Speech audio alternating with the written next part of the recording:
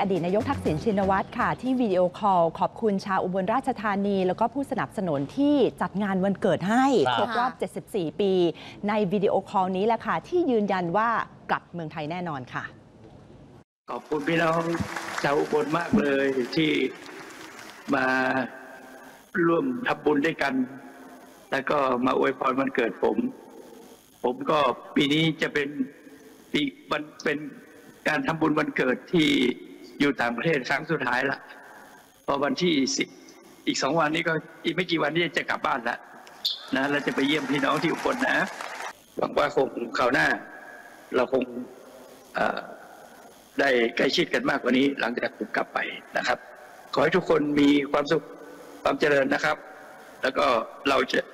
รันเศรษฐกิจหลังจากเพื่อไทยมาเป็นรัฐบาลก็คงน่าจะดีขึ้นเยอะนะครับ ก็ขอบคุณอีกครั้งนะครับ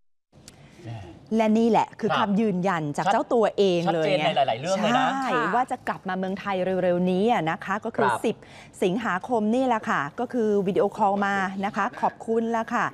ทุกคนที่ให้การสนับสนุนนะคะ ที่จังหวัดอุบลราชธานี จังหวัดอำนาจเจริญ แล้วก็จังหวัดยโสธรคือเขาจัดกิจกรรม Happy Birthday ครับสุขสันต์วันเกิดลุงโทนี่ 74 ปี ที่วัดมหาวนารามอำเภอเมือง จังหวัดอุบลราชธานี ก็มีทั้งสสปัจจุบันแล้วก็อดีตสสของพรรคเพื่อไทยเนี่ยมาร่วมในงานด้วยนะคะครับบรรยากาศเป็นไปอย่างคึกคักอืมคนเยอะมีการมากถวายพระทหารแด่พระสงฆ์จำนวน 9 รูปครับโดยในงานนอกจากคุณทักษิณจะขอบคุณแล้วนะคะ对？ ก็ยืนยันว่าเดี๋ยวจะกลับเมืองไทย แล้วก็จะพบกันอย่างใกล้ชิด มีพูดถึงสถานการณ์บ้านเมืองนิดยังไงฮะหน่อยด้วย ค่ะ ว่า แล้วก็บอกนะบอกว่าถ้าเกิดว่าพักเพื่อไทยได้เป็นรัฐบาล เศรษฐกิจจะดีขึ้นเยอะค่ะ ส่งสัญญาณอะไรบางอย่างหรือเปล่า เอออ่าแล้วตอกย้ำนะคะ ความครับมั่นใจก็คือหลังจากที่คุณทักษิณเนี่ยวิดีโอคุยกับบรรดา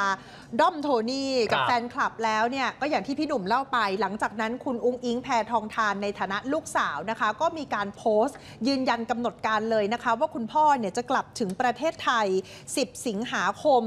ระบุเลยด้วยว่าเป็นสนามบินดอนเมืองนะคะ แล้วก็บอกว่าก่อนหน้านี้วันเกิดคุณพ่อที่ต่างประเทศเนี่ยเคยพลาดไปสองครั้ง ครั้งนี้ถือเป็นครั้งที่ 3 แต่ที่พลาดครั้งนี้เพราะต้องเตรียมอะไรหลายอย่างในเมืองไทย อืมและจำได้ไหมมีคำพูดหนึ่งทำนองว่าครับคุณทักษิณเนี่ยอยากจะไปส่งหลานไปโรงเรียน เอาก่อนหน้านี้ก่อนหน้านี้แล้วแปลความได้อีกว่าเอ๊ะแปลว่ากลับมา คุณทักษิณอาจจะไม่ได้อยู่ในเรือนจำหรือไม่ เอาคนตีความกัน ตีความกันอืมถูกไหมคะอ้าวส่วนอีกด้านหนึ่งนะคะ คุณผู้ชม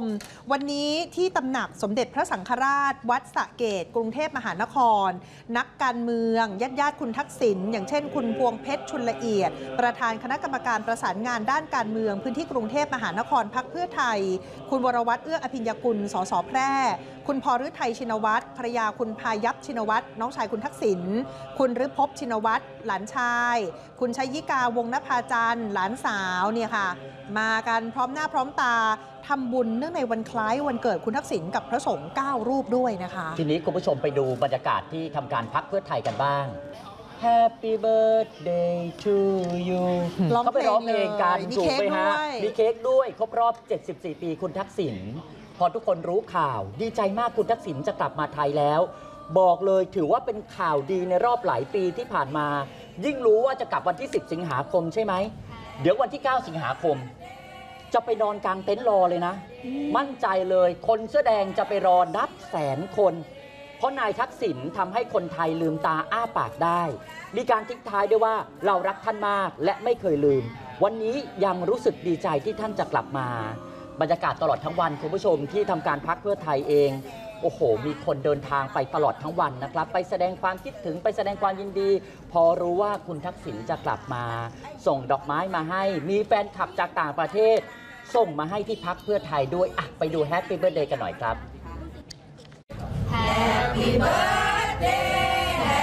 เรา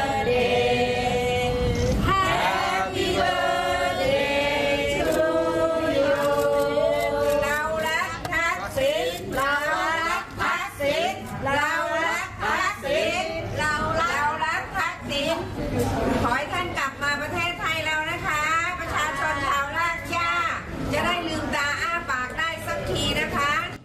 ข่าวนี้ถือว่าเป็นครับข่าวที่ทุกคนให้ความสนใจมาก ๆ เลยนะคะ วันนี้ค่ะใน Twitter เนี่ยก็ติดเทรนด์นะคะแฮชแท็กอ่าทักษิณติดเทรนด์อันดับต้น ๆ ที่คนเนี่ยค้นหากันแล้วก็อยากจะอ่านอะนะอยาคะกจะอ่านนะ อยากจะรู้ข้อมูลต่าง ๆ นะครับ เขารักทักษิณนะครับดูละคร ซีรีส์ซิทคอม วาไรตี้ คอนเสิร์ต และทีวีออนไลน์ได้ทางแอป oneD